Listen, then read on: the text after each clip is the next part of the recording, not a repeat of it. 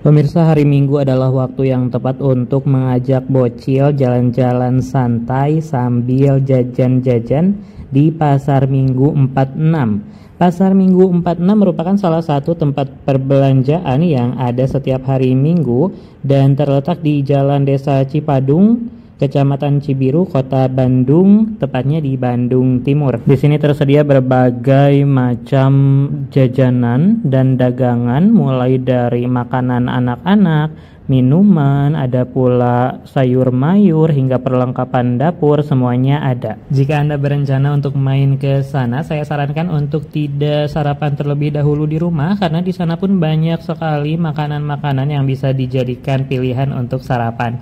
Salah satunya yang saya coba adalah pecel. Ini merupakan pecel asli Jawa yang enak banget, harganya cuma 17 ribuan dan di sini juga banyak jajanan-jajanan lain yang bisa Anda makan.